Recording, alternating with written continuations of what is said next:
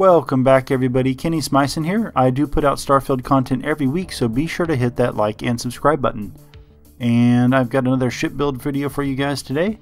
My combat medic just hit level 30, so I'm going to be doing the Crimson Fleet quest line, siding up with the UC uh, SysDef by the end of it. And my uh, character wants to do kind of an undercover cop role, of course, so I snagged this big rig because it is predominantly Hope Tech. Now you might be like, well, goodness, Kenny, you pretty much usually crap on Hope Tech parts. Well, you know, that's true. Um, I'm not a fan of their HABs internally, um, but I wanted to uh, go undercover, right? So my character is not going to build ships, uh, Nova Galactic or Deimos, which is typically what he's been building so far. And so, I'm going to get out my outside my comfort zone on this one. All right, we're going to start off with the landing bay. We'll get around to cargo later. Definitely going to do some shielded stuff on it. Um, do I want that one? Or that one? Let's try... Let's try this one first. Okay. Oh, before I do that, though, I, I have this idea for a hab layout that's a little weird. Hopefully it'll be fun. Because the general idea is I don't want like a sleek looking ship. Alright, so going to use this as my basis for um, getting all my critical systems down and getting this ship flyable. So we'll put that there for now. The landing bay can be dead center or up one. Let's have it up one to start. Okay. Although actually, I need that fuselage. This one? Yep. So yeah, I'll slide that guy forward. Okay. That work? That works. Alright. Um, let's go back to our dockers. Now I've got the side docker or the fore docker. That's a tough one.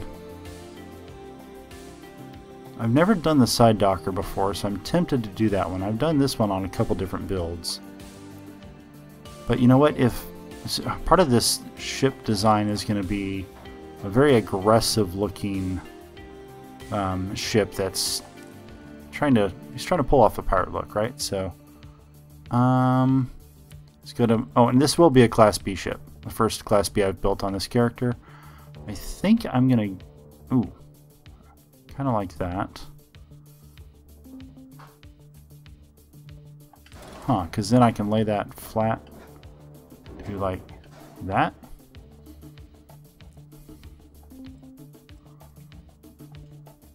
Oh, I only had two of those on this ship, so I'll have to pick those up.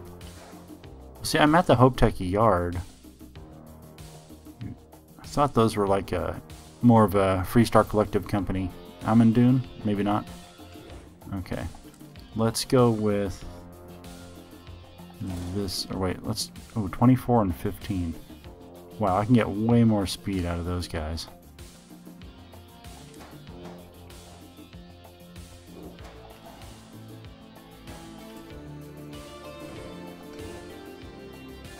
But let's go with that for now.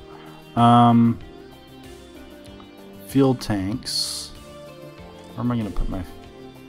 Ooh, this gap right here would be a good spot for it since I've got that docker on the other side. Alright, so let's see what we got. Um, I want something with at least 100. That sets way back in there too much. So we need... Oh, gonna need one of these bigger ones.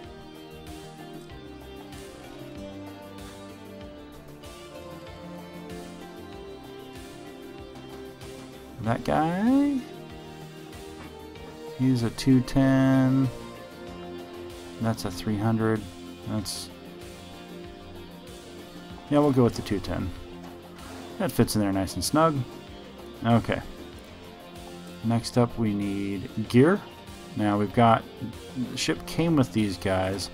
Although I'm not sure I'm a fan of those because they just stick out so... so much. Well, and I wouldn't be able to have that guy. Hmm. So do I go with the docker I've never used or landing gear I've never used? I'll go with Docker I've never used because that at least really changes the flow of the ship internally. Then that leaves me with these, which are a little ridiculous. Or those. Although those don't exactly have a lot of thrust. I might need a lot of those on here. But, okay, let's just see what happens when we put them below the halves.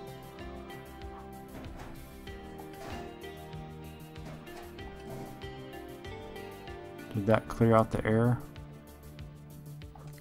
Ship is too heavy to jump. Or, okay, it's a, oh, it's a grav drive issue. Okay, so I, that's all the gear I need, but let's go to my grav drives. Class, actually, let's go to reactors first. Class B. Alright. That's the big one, and that's the big one. 24 and 24? Uh, guess I'll go with this one to start.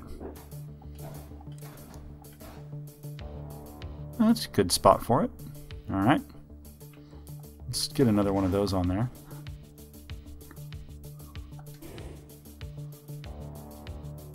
Okay. Um, now we go back to our grav drive. What do we got? 27, 30, 30. That's the better looking 30. At least it, well, at least it has connection points on all the sides. That technically is a flyable ship. Okay. Let's just do a quick glance at this thing. Obviously I could put something up front here. And alright, let's go ahead and uh, transition over to structure and weapons, make this thing look good.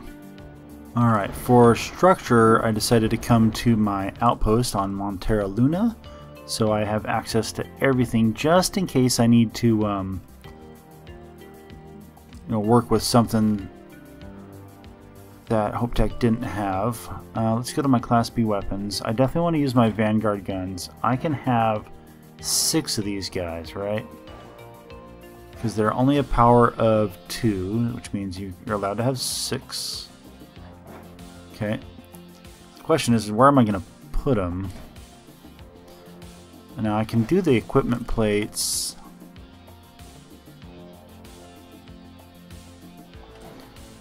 I do have that mod, so I'm now able to flip these all the way around, which is nice. So I could put... Ooh. What? Oh, it's clipping into the Docker. Well, I can, I can take care of that. Because my idea is maybe put... Yeah, because I could slide that back, slide that back, put something up front here so I can have three guns or oh you know what I'll do we'll use just a touch of Deimos because they have where where is it that one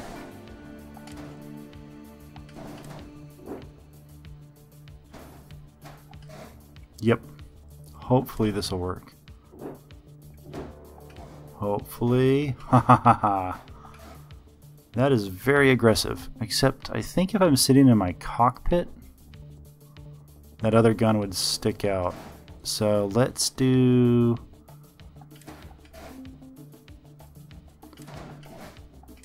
flip this one around and do a little visual comparison here.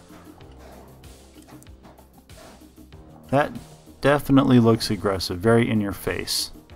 Um, Let's get my bumpers.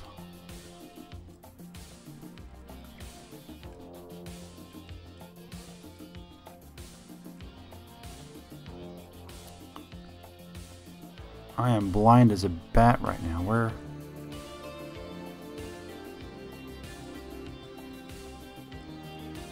Oh, there it is. Okay, get that bumper in there.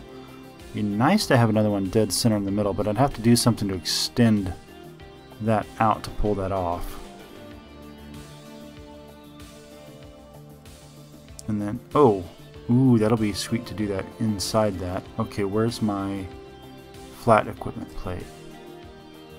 Yep, there's that. copy and flip it upside down courtesy of that mod and I want my Vanguard missile launchers to be right in there. Come on. Oh, that's going to be fantastic. Those things just... Looks like a mouth.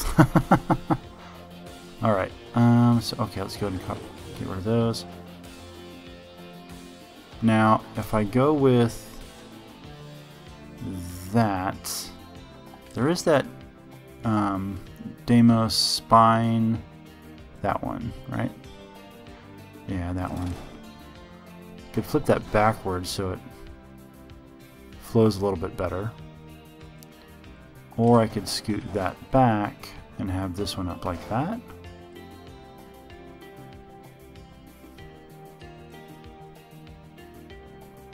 Or just keep it aggressive and just square it off right up front. Yeah, that's what I'm going to do. It's definitely outside my comfort zone to do that. Oh, but that still works right there as a give it a little bit of a grace to it, right? And then that gives me like I could have my because I'm gonna get the conduction grid and the com spike right? On both so I'll, I'll be able to put those there if I don't have anywhere else okay? All right um let's I gotta do something about the sides here. Now I can't unfortunately I can't do anything about the side sides although let me look at what those Taiyo pieces will look like on it just to make sure. Those really flat panels. I'm pretty sure they'll actually work with that side docker. Um, yeah these guys. Okay. So that docker def barely clears it. But the problem is is it just, uh, you know, it almost looks so bad it looks good. Because, like, why not, right? It's almost like this extra armor kind of a look to it, maybe.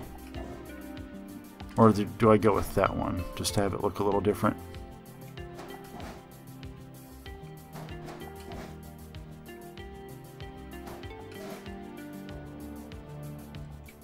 So that one can go there.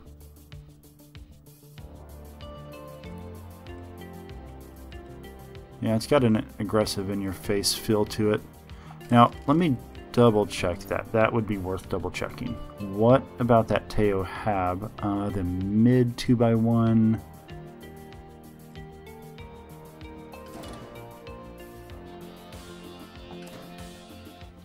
Because it's exactly the same.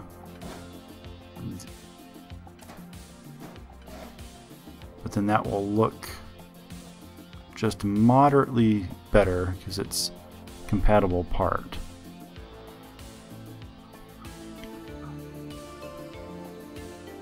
Yeah, I'll go ahead and do that. I'll go ahead and do that. Okay.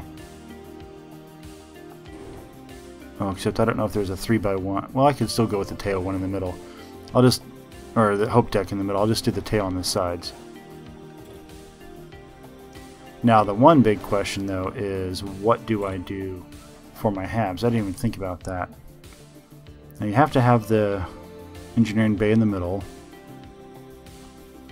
Oh, you know what? Let me see if they do have a 3 by one Oh, they do.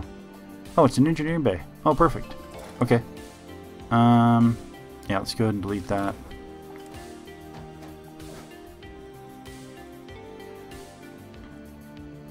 Okay.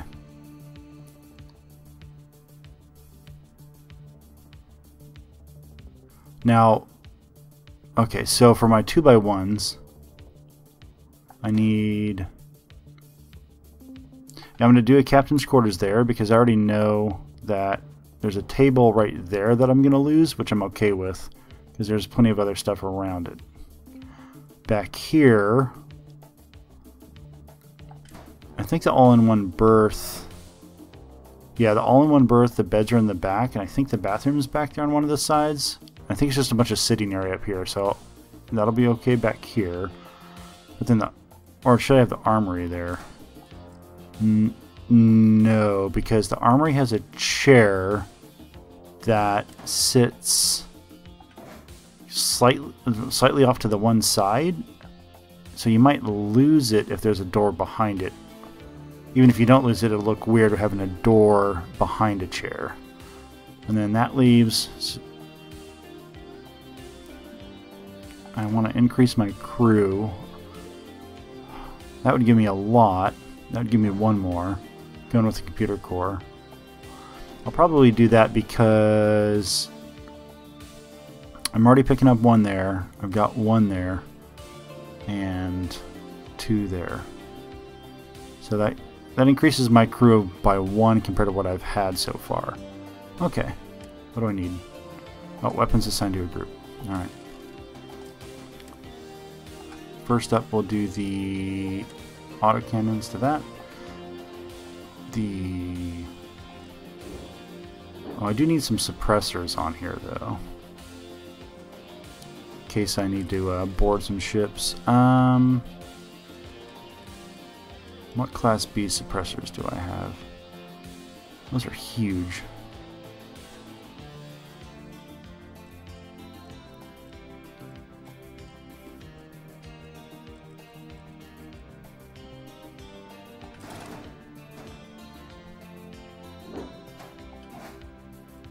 Guess that works up there. They'd be too big to go down in there. They'd probably clip into each other. Okay. Tempting to take those little Class A's, because those are not as powerful. Where, oh, do I not have them at my outpost? That would be lame. They're the square ones with the kind of the gold colored face. I think they're only a range of 800. These are a 1,000. Or maybe it's... Okay. Alright. I might switch that around once I finish my paint job and show you guys the rest of the ship. Okay, let's continue making this look good. Let's get my radiator back in there.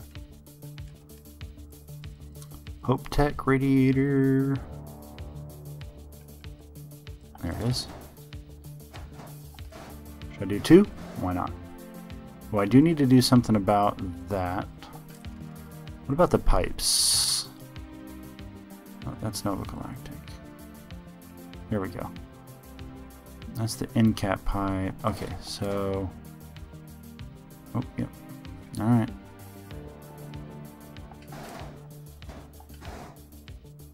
Oh, wow. That's it's flush. That's nice. That's nice. Okay. It's like it's meant to be. Okay, there's that and that. That and that. And then where's the...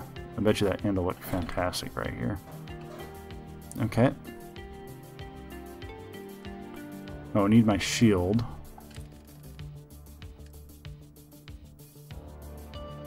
Yeah, I'm gonna go with the...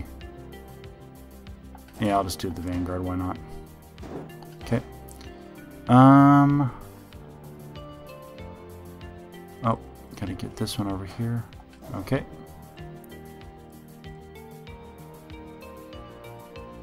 That definitely does not look like anything I typically would have built. Built. Oh, what are we looking at my map? Okay. Two fuel landing gears and weapons. Okay, the weapon's easy. That's my uh, left trigger will be suppressor. Missiles will be on Y. Okay. But two fuel landing gears. That's a problem. What? That won't fit there? Okay. Well, Okay, there we go. And then that, now I just have to get my cargo, which I'll probably, yes, I'll get one cargo dead center in the bottom there. Let's see what we got.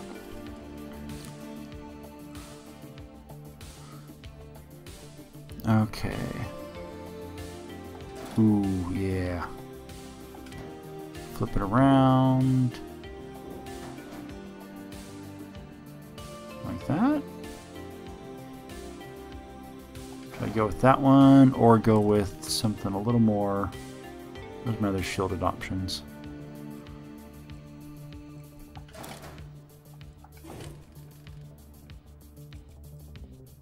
Okay, those are my only shielded options. Yeah, okay, I'll go with that one right there. That one sits, eh. I wish they'd just make that longer. Well, it could be useful, I guess, to if there's something that slightly sticks out. You got a little room to play with. But all right, I'm gonna give this sucker a paint job and uh, give you a tour on the inside. All right, I'm done with my paint job and weapon placements. Let's see, up front here, a couple little tweaks. I added a window right there. I didn't lose much other than some storage and these um, launchers here on the sides. Um, I put them there because I wanted to free up the room for the com spike right there. And then the I'll probably put the conduction grid uh, piece up on top once I get that. Um, I switched back to the Hope Tech cabs just because I really do like the look of these not sitting flush because it actually just looks like some armor's been just bolted down to protect the, the habs on the side. Uh, I switched the docker to the other side because there was a some equipment, uh, engineering kind of equipment uh, in the middle on one of the walls I did not want to lose on that 3x1 hab. Um, and I did merge a bunch of these Deimos uh, spines in with these pipes here, kind of give it a little bit of a different look to it. And other than that, I think that sums it up. So let's go ahead and take a look on the inside. And for the internal tour, we're starting at the back left of the ship. We're in the all-in-one berth hab where we have our um, bedroom back here, bathroom, kitchen dining area, and a little sitting area. And I think I lost like a little, just a couple more chairs right here where the store was, so no issue there. Across the hall we head into our armory with the brig. And just as I remembered, that one chair is opposite of this door, so uh, I think you would lose that chair if you had a door right there, or it'd just be weird to have the chair behind the door. So it kind of has a nice flow to it. And back into the brig here, and of course just some more storage. Another little chair back there. And as we head into the 3x1, I, I haven't done the 3x1 uh, Hab showrooms yet, but I really like these ones, how they have like this uh, kind of extra like door wall right here, so it just kind of makes makes it feel a little more compartmentalized. Um, so on that side of the room, I can't quite remember what was there, but nothing too important. But I didn't want to lose this huge, this piece of equipment. Kind of looks a little more, more industrial. Looks like it's part of the ship, so to speak. So I didn't want to lose that. And see, heading up this way, I did put the window here uh, instead. I all I lost was a little bit of storage, so no, big deal. That's the only window in the ship I, I have. Over to the left is the captain's quarters. Love this one because uh, it's got the navigation console right there, huge monitor, and uh, bed area, desk, well. living room area, bathroom. And, oh, and I like how there's that one monitor right here in the engineering. Um, 3 by one here. And this computer core's got a good flow to it with this ship because you walk right into basically like a little another little command section area. So it's right next to that uh, hatch and, and door right there. And then as you make your way forward, you've got a couple more monitors, but then you kind of conclude in basically what's like a storage area, right? So storage areas usually are kind of at the dead ends of areas, so it's got a good flow to it. Alrighty folks, take care. Um, hope you enjoyed this build. Looking forward to uh, getting on with the uh, Crimson Fleet quest line on this ship. See how we do. Take care, folks. I will see you in the Starfield.